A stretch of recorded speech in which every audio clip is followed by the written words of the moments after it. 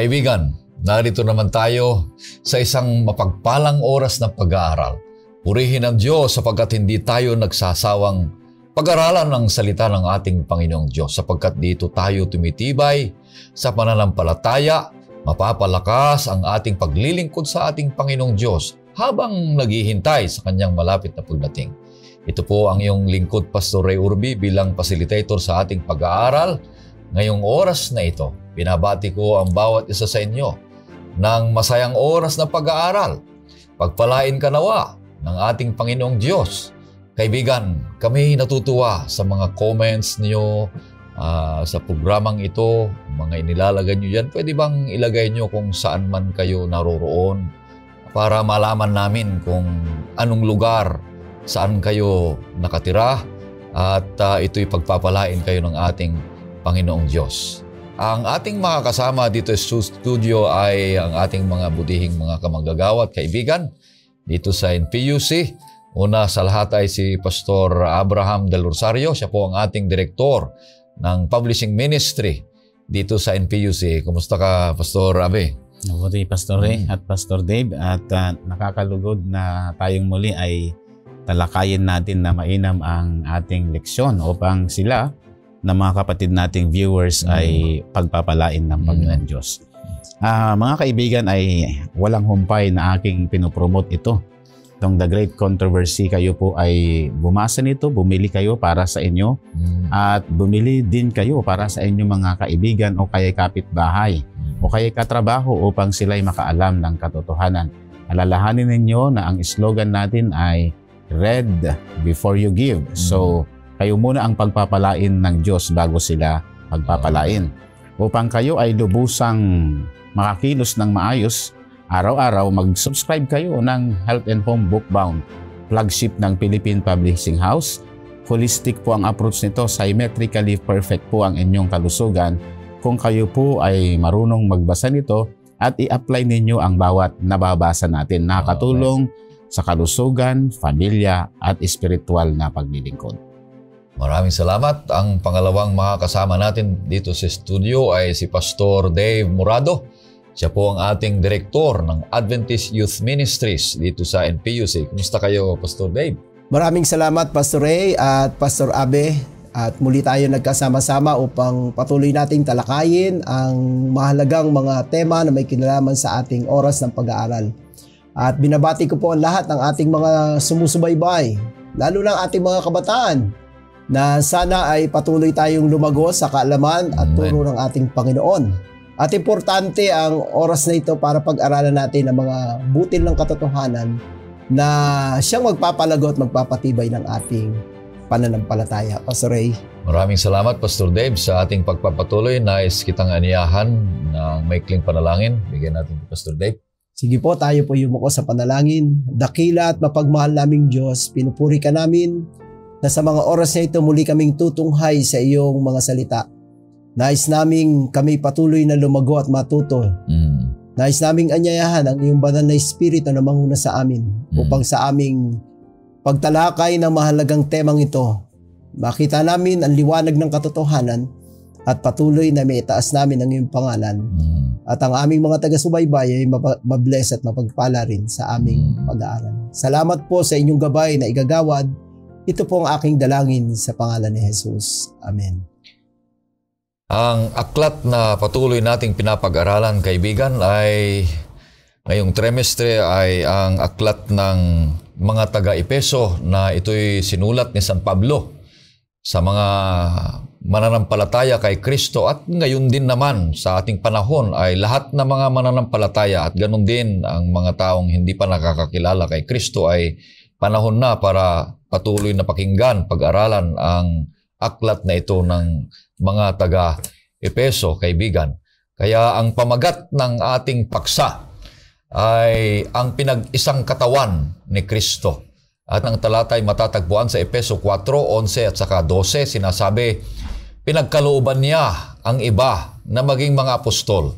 Ang iba'y propeta, ang iba'y ebanghilista, ang iba'y pastor at mga guro upang ihanda ang mga banal sa gawain ng paglilingkod sa ikatitibay ng katawan ni Kristo. Napakaganda ito, Pastor Abet, saka Mm. Pastor Dave, ang ating leksyon ngayon dahil pumapasok na tayo sa ah, pang-apat na kapitulo ng libro ng ah, Epeso, kaibigan. Matandaan mo, yung unang-una pa ay sinabi na namin dito na yung unang ah, kapitulo hanggang 3 ay patuloy na ito'y sinasabi sa atin ang kapangyarihan ng ah, ebanghelyo. Yun ang dinidiin niya ni San Pablo. Ang kapangyarihan ng ebanghelyo na mayaman ang Diyos ng kanyang pagpapala, mayaman ang ah, mga graces, mga kaawaan, ang kaloob, at ganun din lahat ng biyaya ay mayaman ng Diyos. Lalong-lalo na ito'y mayaman ng pag-ibig. Pagkatapos ay makikita natin pumapasok na tayo sa 4, 5 hanggang 6 na siya ay katapusan ng librong ito ay sa 4 mag-umpisa na tayo na tutukuyin ang resulta ng kapangyarihan ng uh, ebanghelyo. So, yung 1 to 3, Pastor Aveno, Pastor Mm. Dave, ay yung kapangyarihan ng ebanghelyo. Mag-umpisa na tayo sa 4 hanggang 6. Ito naman yung resulta ng ebanghelyo sa ating buhay. Kaya nakikita natin na ang uh, lesson 7 ay sinasabi na na yung pinagkaisang katawan ni Kristo.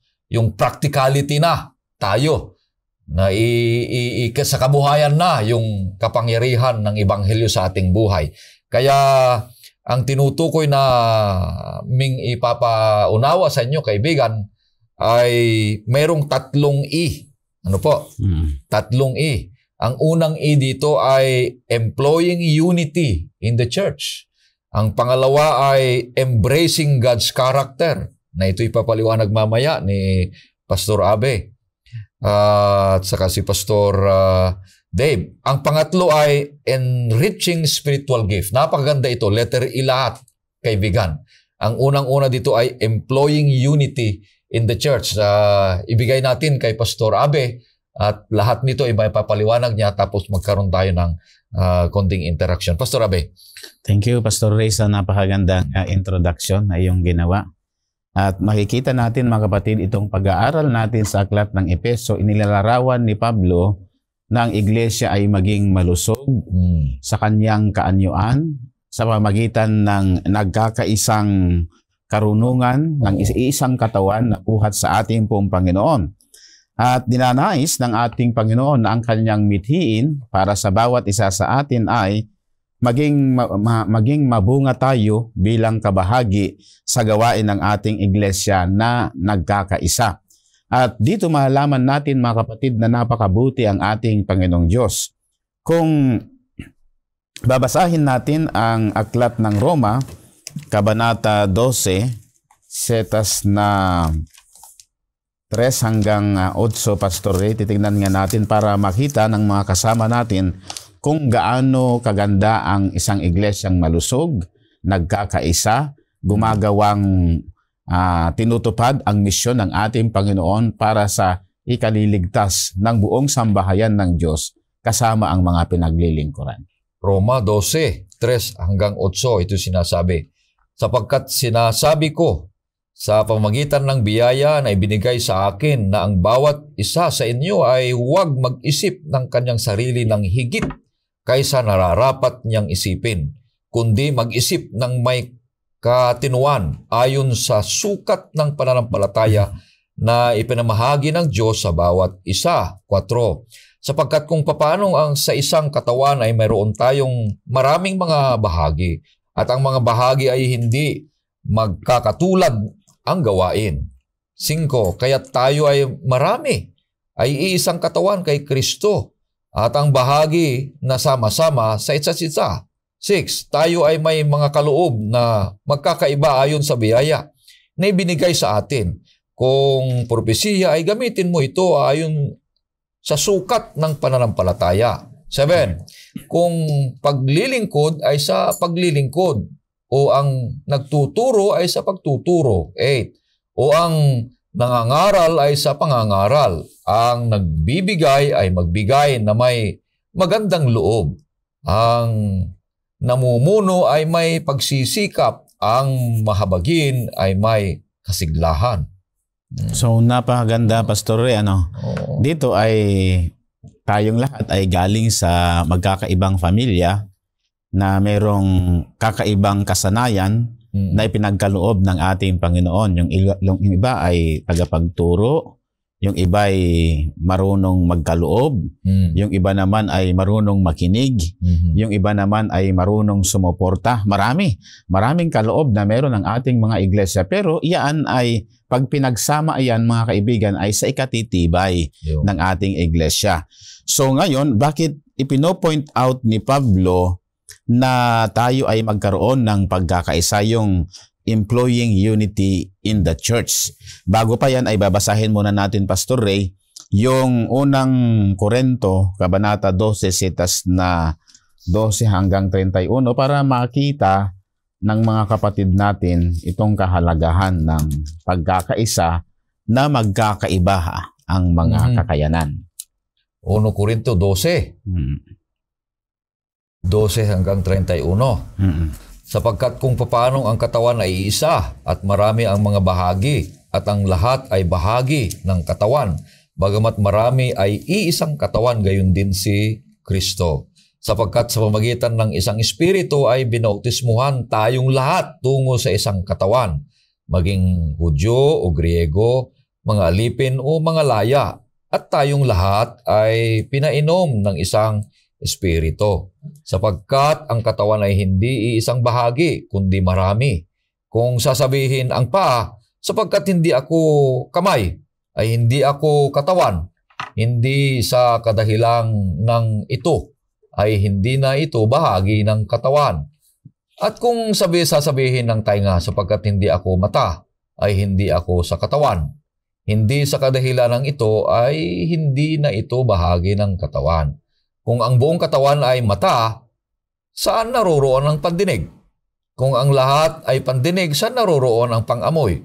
Subalit ngayon ay nilagay ng Diyos ang bawat bahagi ng katawan, ang bawat isa sa kanila ayon sa kanyang ipinasya. At kung ang lahat ay isang bahagi, saan naroon ang katawan? Subalit ngayon ay maraming mga bahagi ngunit iisa ang katawan.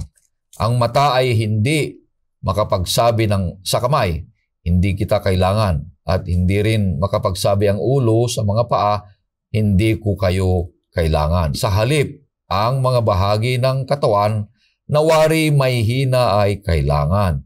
Ang mga bahagi ng katawan na inaakala nating walang kapurihan ay pinagkalooban natin ng higit na kapurihan. At ang mga kahihiyang bahagi natin ay siyang lalong pinararangalan. Na ito ay hindi kailangan ng mga bahagi nating higit na maganda. Subalit binuo ng Diyos ang katawan at binigyan ng higit na kapurihan ang bahaging may kakulangan.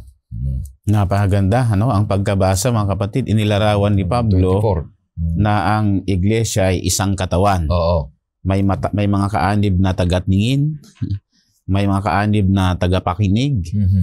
may mga kaanib na tagapagturo na kagaya ng kamay, may mga kaanib na kagaya ng paa na tagapagbigay ng tinatawag na magandang direksyon Oo. sa loob ng iglesia para tumibay ang katawan. Mhm. So kapag hindi natin ginampanan yung bahagi natin mga kapatid ay hihina ang iglesia, ang katawan ng ating Panginoon.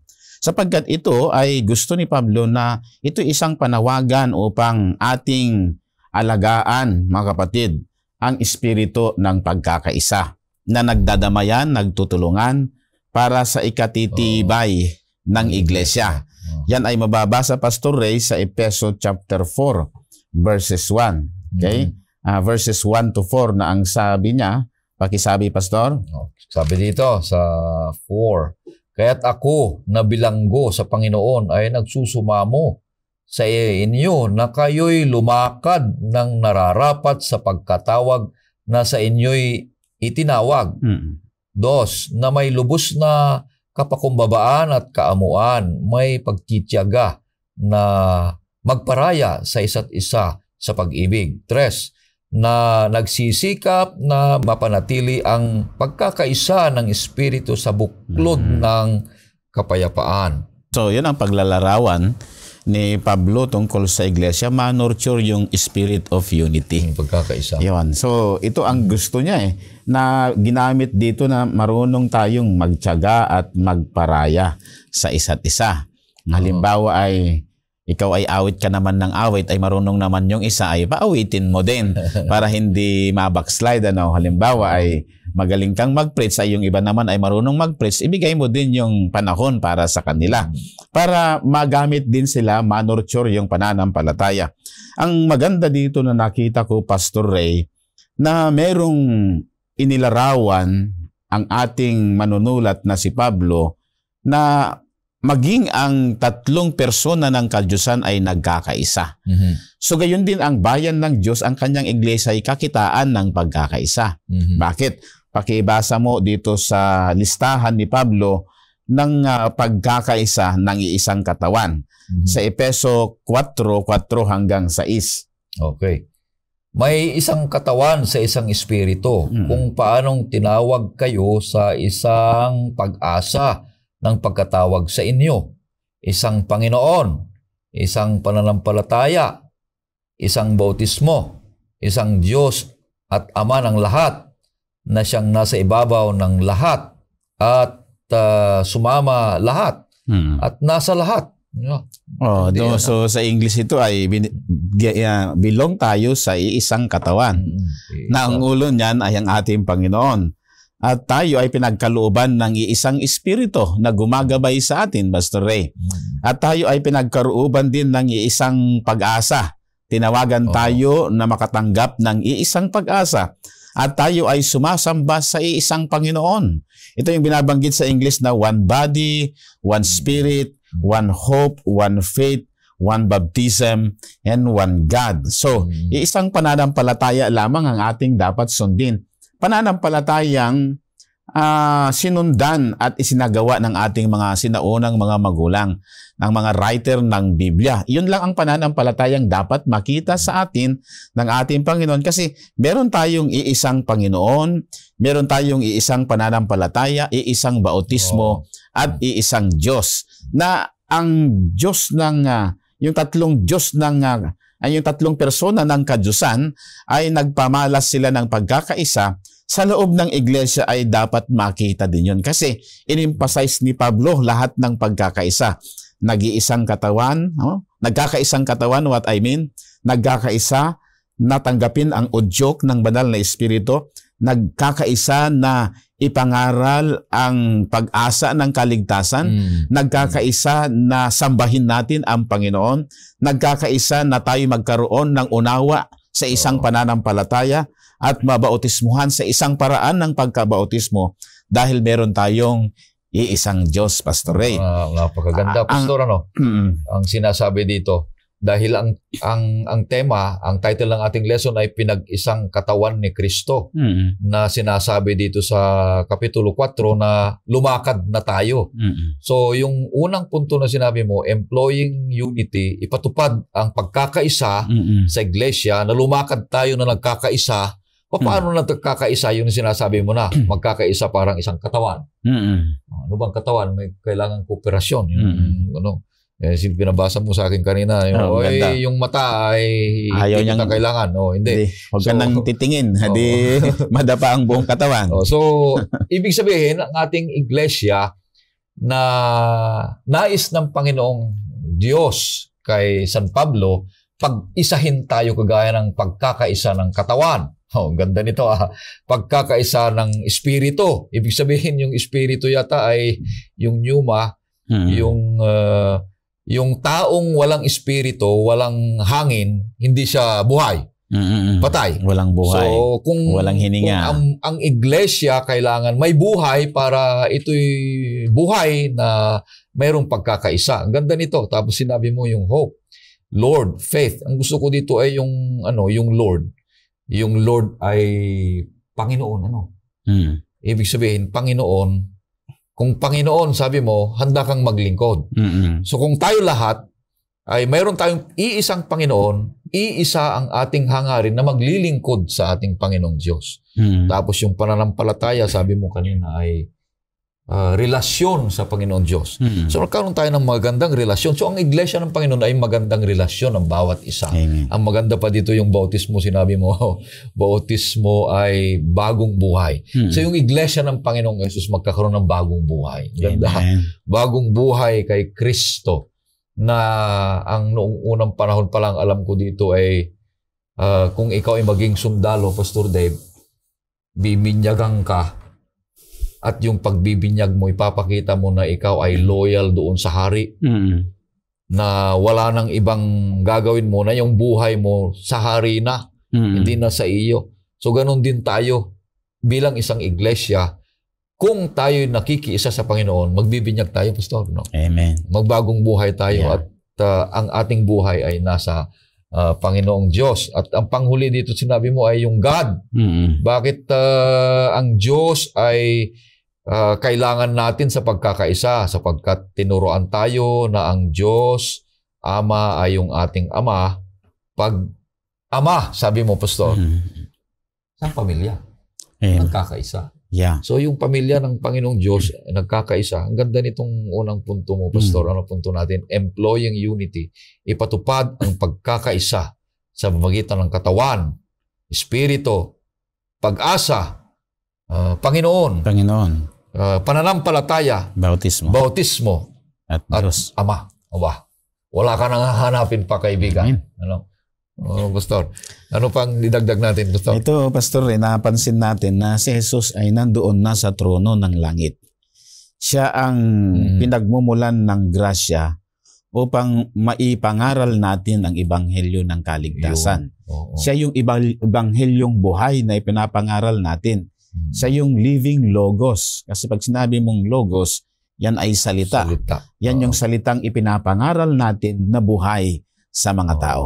So kapag naipangaral ang salitang buhay, magkakaroon ng isang buhay na pag-asa sa bawat taong tatanggap sa Kanya. Mm. At dito ay tinuturo sa atin sa Employing Unity in the Church na lahat ng mga kaanib ng iglesia ay pupwedeng makatulong sila para sa isang malusog na pagsasama-sama yun. at lumalagong nagkakasama na nagkakaisa na ang layunin ay palawakin ang gawain ng Panginoon. So pakibasa mo Pastor Ray sa Efeso chapter 4 verses 7 to 10. 7, sabi, subalit sa bawat isa sa atin ay ibinigay ang biyaya ayon sa sukat ng kaloob ni Kristo.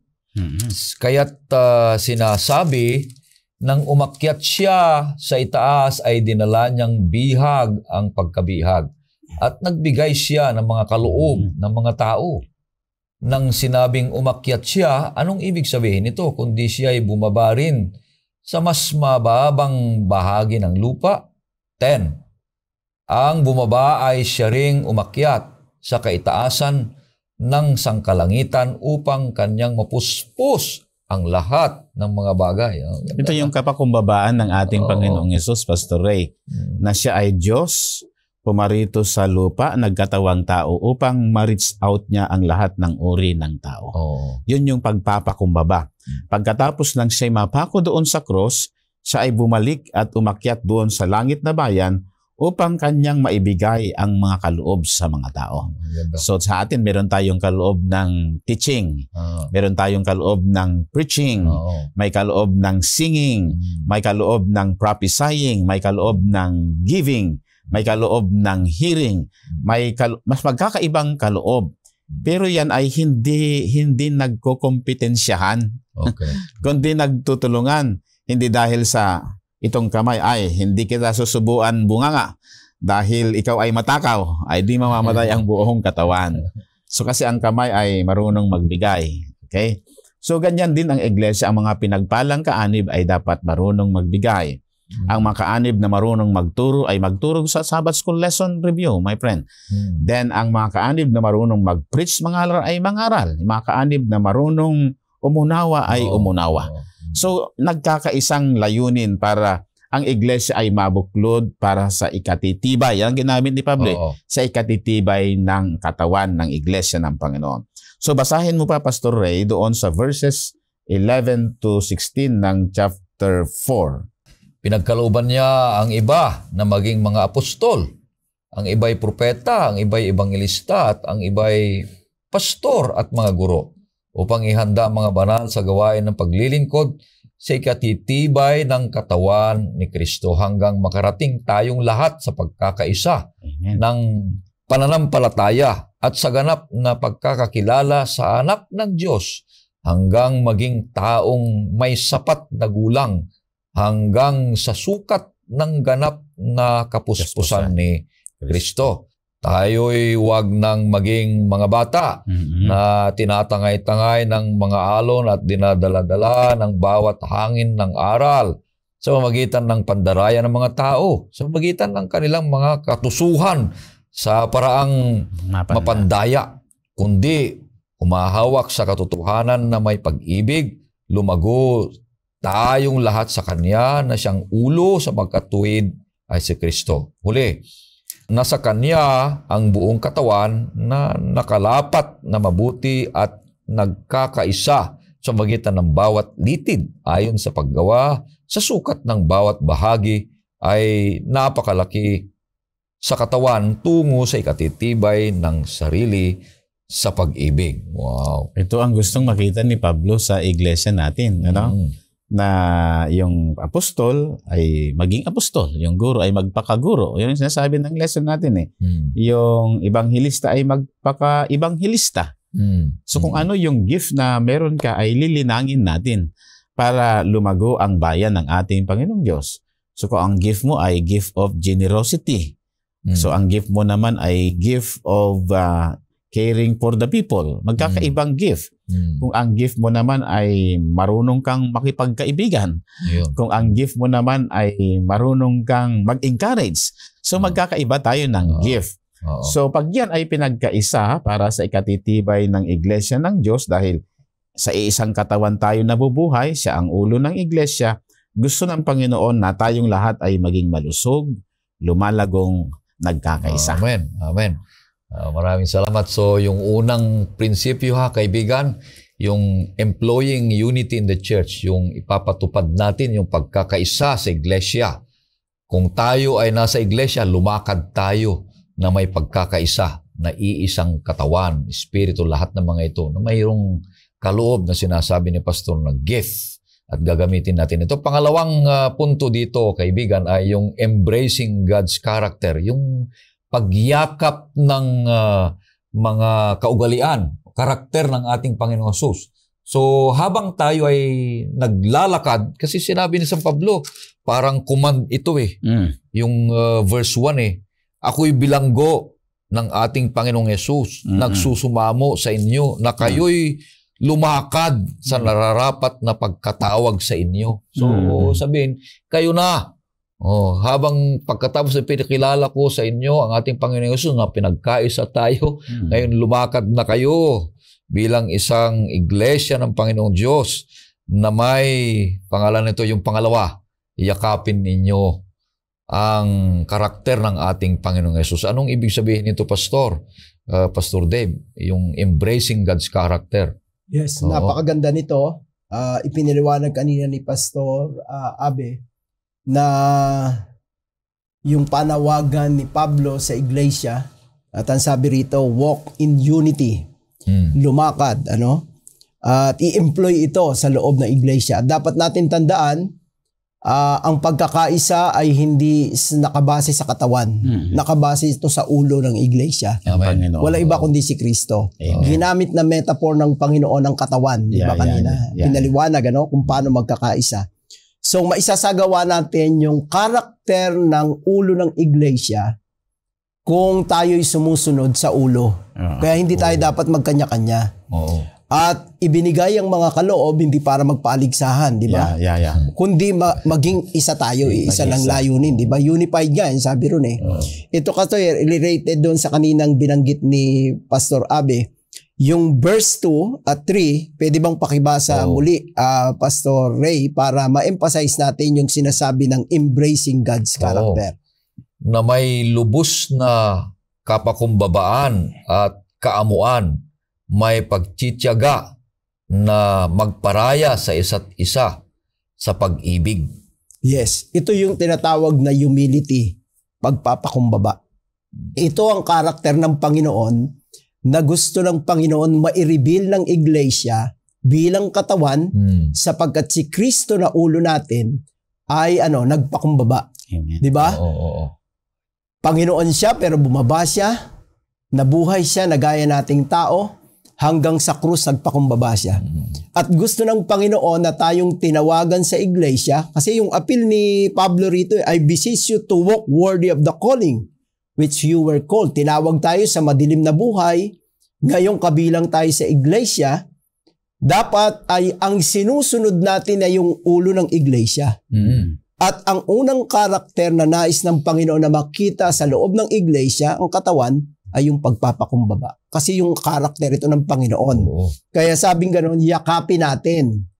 Yung tumawag sa atin si Kristo, siya mismo nagpakumbaba, dapat ang karakter ng miyembro ng iglesia na tinawagan para sa gawain sa ministeryo at anuman yung kaloob na tinanggap natin, hindi tayo nagmamataasan. Kundi ginagampanan natin may Oo. pagpapakumbaba. Amen. Kasi yun ang sinasabi sa atin, ano? At ang sabi nga rito ay yung ah, isa pa ay ang sabi lowliness and gentleness, ano? Yung gentleness, ito yung kalidad na hindi mo ginagawang importante ka, ikaw lang ang importante sa iglesia. Mm. Lahat ng miyembro ng igle- iglesia ay Mahalaga. mahalaga, importante. Parang katawan, Mm. yeah, gaya ng sinasabi mo eh, Mm. eh kung ayaw ng kamay na isubo yung pagkain sa bibig, eh sino ba magsasuffer? Lahat. Ay lahat, ang buong katawan, ang buong iglesia. Oo. Kaya lahat ng miyembro ng iglesia, maliit na bahagi ka man ng iglesia, importante ka. Yeah. Mapil mo na ikaw ay important Yeah. eh, sa Oo. iglesia. At lagi nating iisipin dito sa ating pag-aaral na sinasabi ni Pablo, nakasalalay ang pagiging pagpakumbaba at yung gentleness na sinasabing karakter dun sa ulo. Kasi kung yung sarili natin, hindi tayo pwede magpakumbaba. Likas kasi ng tao nagmamataas eh, di ba? Oo. Nagmamataas. Oo. Hindi tayo gentle way na Ah. ano, kung wala ang karakter ni Kristo, Yeah, yeah. kaya sabi, embrace, yakapin natin. Oo. Yakapin natin yung karakter ni Kristo. At itong ine-expect natin. Ang ikatlo, ang sabi rito, yung, ano Pagtityaga. sabi? Pagtsatsaga. Mm. So, maging matsagain tayo. Alam mo kasi sa loob ng iglesia, ay merong mainipin. Mm. Minsan hindi siya makapag ano, no? Nagmamataasan, nagiging mainipin. Pero tandaan natin, isa sa karakter na gusto ng ating Panginoon na makita sa iglesia para nagkakaisa tayo, ay ang sabi rito ay yung patience. Patience. Oo. Yeah. Kasi ang Diyos sa tamang panahon dumating siya. Mm. At siya'y naging patient sa atin, di ba? Mm. O kahit na matitigas ang ulo natin, pero ang Panginoon ay nag-antay sa tamang panahon at lagi siya nagtsatsaga sa atin. So lo- sa loob ng iglesia, kung, kung gusto natin ma, maabot yung pagkakaisa, Mm. itong mga karakter na ito na sinasabi ng ating Panginoon ni Pablo, ang sabi nga rito sa verse 2, muli natin basahin para ma-emphasize na emphasize natin yung salitang patience. May pagtityaga na magparaya sa isa't isa sa pag-ibig. Yan, Ayan. bearing with one another in love. In love. Amen. O sige. Ah, ito, tignan natin ha. Ang loob ng iglesia, sabi nga kanina ni Pastor Abe, iba-iba ang background natin. Oo. Iba-iba ang ating kinalakhan. Iba-iba ang ating limitation. Yeah. Iba-iba yung ating karakter na dala-dala. Oo. Pero kapag na kay Kristo ka na, sabi ni Pablo, Oo. ay wala na yon. Maroon. Dapat mamatay na yon, di ba? At inim- yakapin mo na Oo. yung karakter ni Kristo Yeah. At si Kristo na at hindi natin magagawa itong maging humble, maging gen- gentle, yung patience, karakter ni Kristo malibang sumusuko tayo ron sa Yeah. ulo ng iglesia, Tama. si Kristo. Oo. Oh, hindi natin maaabot. Kasi ito'y pakiusap, appeal ito ulit ni Pablo eh. Oo. Sabi niya, walk in unity. At inisa-isa niya paano tayo lalakad na nagkakaisa. Kaya napakaganda, narito mga kapatid sa ating mga taga-subaybay, ay kailangan nating yakapin. At kailangan naman ng iwaksi kung tayo ay nagmamataas, kung Mm. tayo ay hindi gentle, hindi tayo patience, dapat mamatay na yon Mm. Dahil si Kristo na Mm. At yung ulo ng iglesia ang susundin natin, hindi yung sarili natin. Parang katawan, kung ikaw man ang mata, ikaw man ang bibig, hindi ka masusunod. Mm. Ano yung sinasabi ng ulo? Oo. Eh, Si Kristo ang masusunod, hindi yung sarili mo. Yung sarili. Oo. Tama. At Maganda. yun ang napakagandang mensahe nito, Pastor Ray, Pastor Abe.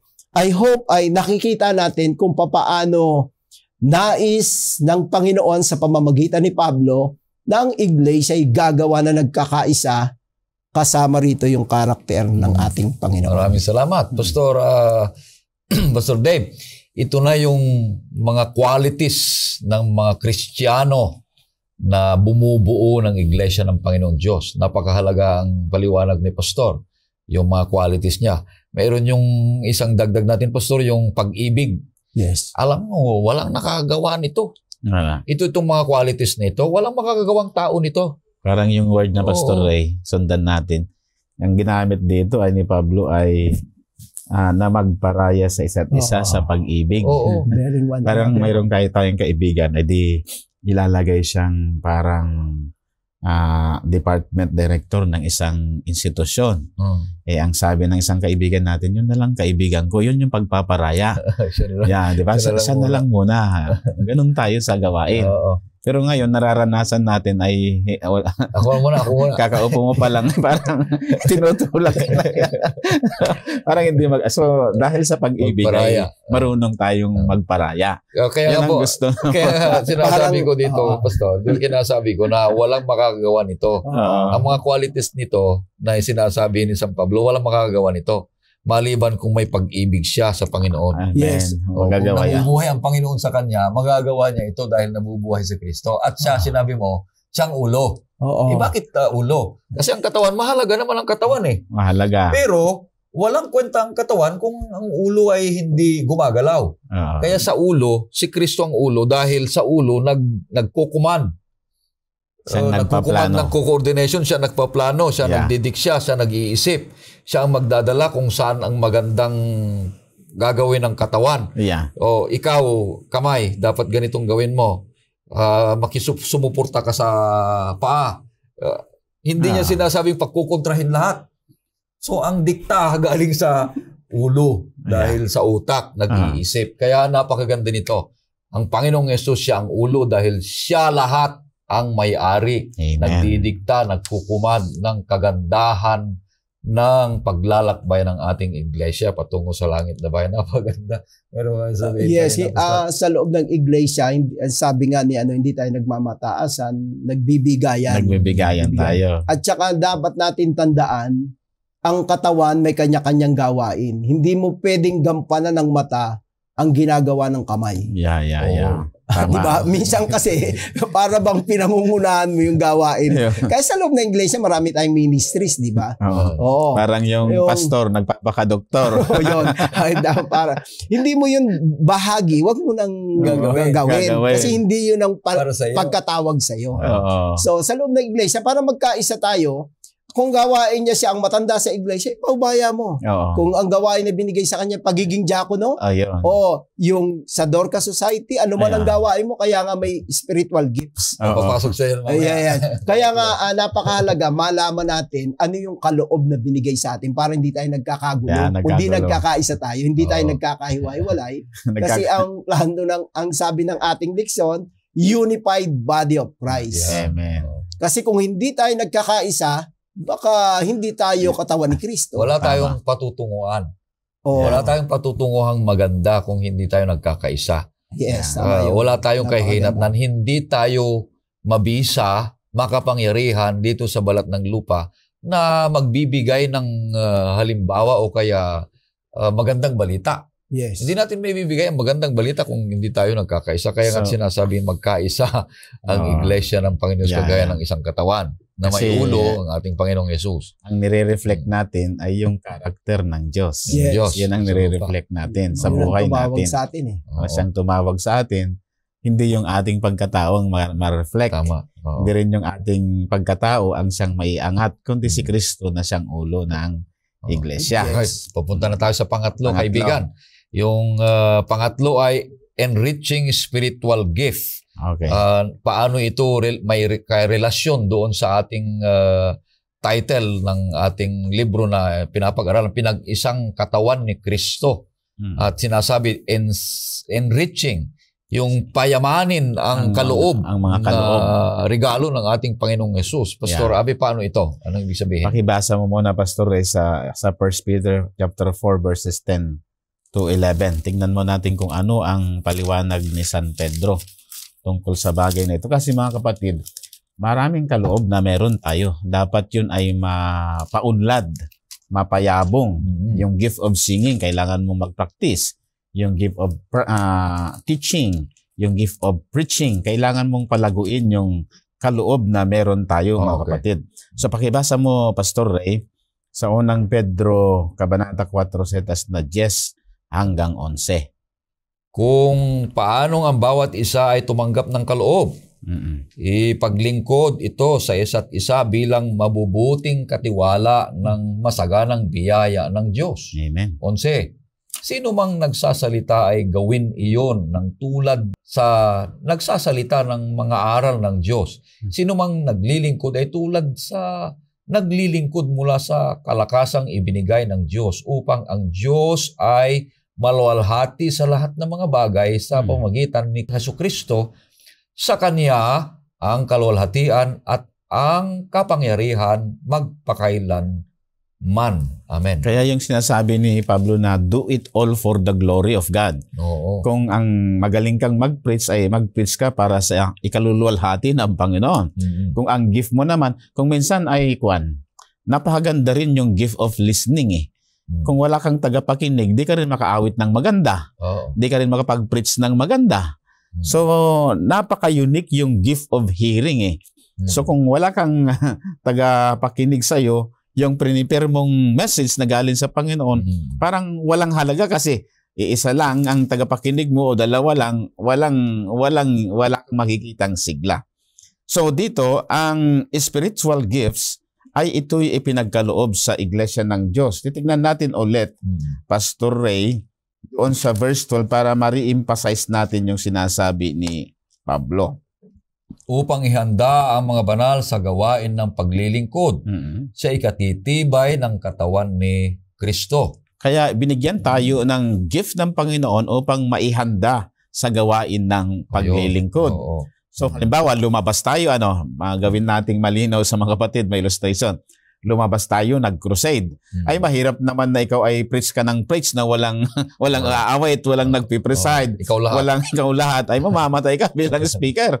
Oh, di ba? Ikaw din ang ah, closing song, mag-a-appeal, magko-chorister, ay hindi mo kayang gampanan yon. So, lahat ng yan ay ang sabi ng Bible upang ihanda ang mga banal sa gawain ng paglilingkod sa ikatitibay ng katawan ni Kristo. So ngayon ay maraming marunong umawit. Ako'y nag ah, umaawit noon Pastor Ray. Pero habang tumatagal, sabi ko, agawan ko pa ba naman tong kabataan? Kaya na, dahan-dahan nawala Oo. na sa akin yung gift of singing. Ngayon ay yung preaching na lang ang pinagbubuti ko at teaching. Kasi sabi ko ay, pwede namang umawit itong mga to. Itong mga to. Ay kung akin lahat, ay di wala na silang bahagi. So yon ang ano. Dan ang isa pa, ang spiritual gifts ay walang hangganan Mhm. hanggang ito ay sa pagbabalik ng ating Panginoong Hesus. Mhm. Tinatalakay sa verse 13, Pastor Ray, pakibasa mo. Hanggang makarating tayong lahat sa pagkakaisa ng pananampalataya Hmm. at sa ganap na pagkakakilala Mhm. sa anak ng Diyos hanggang maging taong may sapat na gulang hanggang sa sukat ng ganap na kapuspusan ni Kristo. Ayun. so kailangan natin gamitin yung mga gift na yan hanggang maabot natin yung kalawalhatian ng Diyos. Mm. Yan ang sinasabi niya eh. Hanggang makarating tayo lahat sa pagkakaisa sa pananampalataya. Amen. So pagdating doon sa langit ay may choir member doon, may choral conductor doon. Mm. Si Jesus ang magpipreach, tayo naman ay makikinig. Mga ngasiwa ang iglesia ng Panginoong Diyos. So ganun din dito sa lupa, kung ano yung normal na ginagawa natin, magagawa pa natin Amen. yan pagdating Amen. doon sa langit na bayan. Kasi ang gifts ay magpapatuloy yan hanggang sa maabot natin yung likas o ugali ng ating Panginoon. Then sa verse 14, Pastor Ray, ang spiritual gifts ay ibinigay para lumago ang bayan ng Diyos sa verse 14. Oh. Tayo huwag nang maging mga bata na tinatangay-tangay ng mga alon at dinadala-dala ng bawat hangin ng aral sa magitan ng pandaraya ng mga tao, sa magitan ng kanilang mga katusuhan sa paraang mapandaya. Ang isang mature na kaanib ng iglesia ay hindi na siya madaling matangay ng ibang turo ng sanlibutan. Hmm. Kundi ang kanyang karunungan ay nakasalig na sa katotohanan ng salita ng Panginoon. Hindi ka madaling uh, matangay ng alon ng sanlibutan. Ano? Hmm. Eh, kung minsan kasi ay ay dito tayo kasi ito ang gusto ng mundo eh. Hmm, wala. O, 'di ba? Hindi na hindi na tayo ganun kasi matured na tayo. Dahil tayo ay inalagaan, pinagkalooban ng kaloob para manurture ang pananampalataya ng bawat isa. May taong mahilig makinig ng musika, may taong mahilig ma makinig ng salita ng Diyos, Hmm. may taong mahilig mangaral, may taong mahilig magbigay, Hmm. may taong mahilig ah, mag-alaga ng mga may karamdaman, may taong mahilig ah, ah, magpayo sa mga may, may kalumbayan sa buhay. Yan ay mga nagagampanan natin para sa ikatitibay ng bayan at iglesia ng ating Panginoong Diyos. Pastor. Napakaganda nito. Kaya ang ating uh, iglesia na siya ang katawan ng ating Panginoong Hesus ay tayo'y lumakad na may pagkakaisa. Yung sinasabi employing unity. Tayo'y lumakad na may kalidad ng mga uga, pag-uugali ng ating Panginoong Hesus.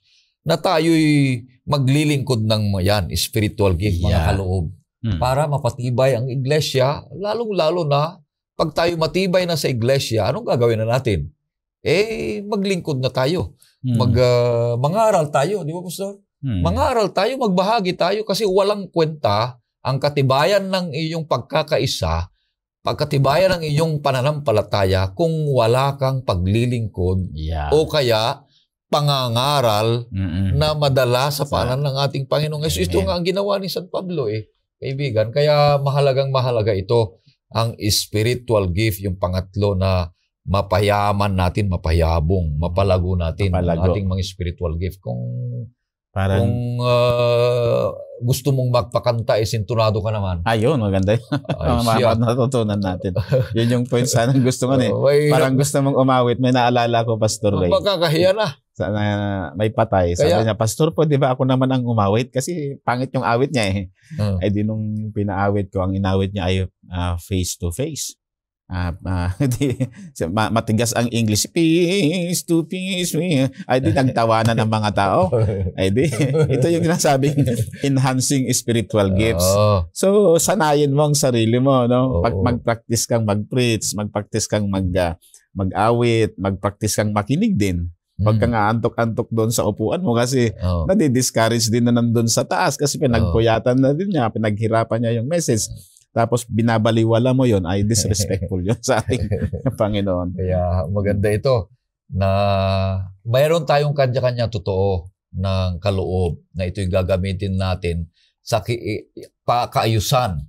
Eh, gusto mong kumanta, eh, sintunado ka naman, huwag ka munang kakanta dun sa maraming mga tao dahil hindi sila mapapalakas dyan.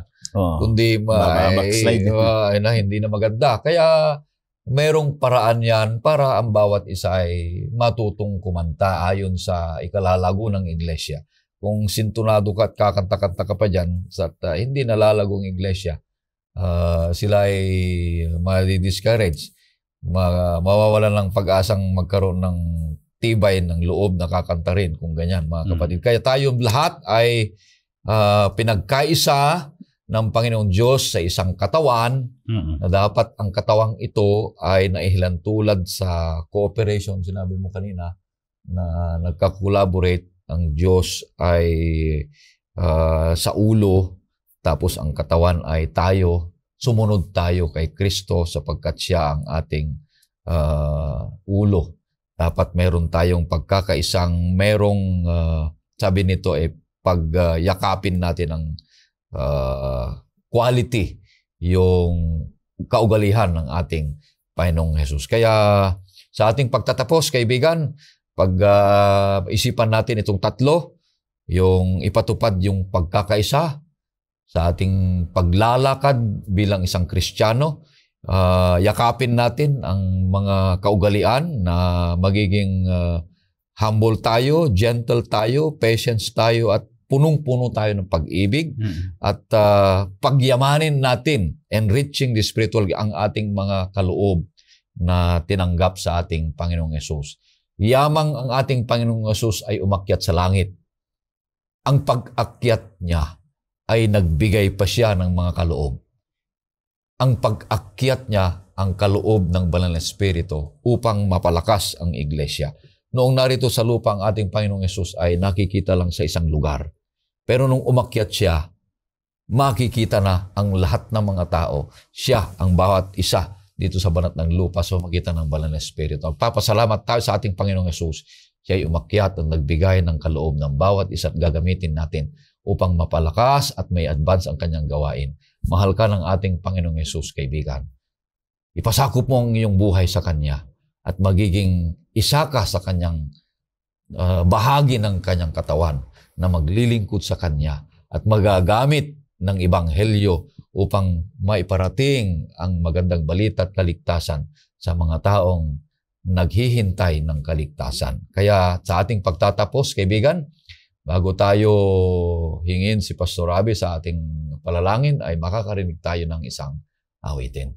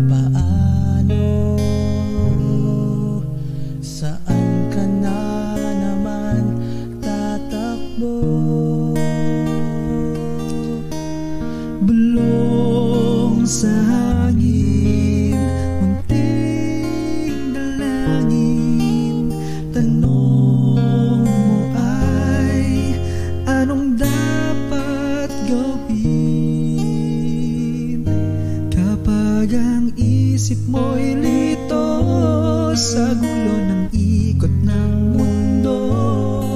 anong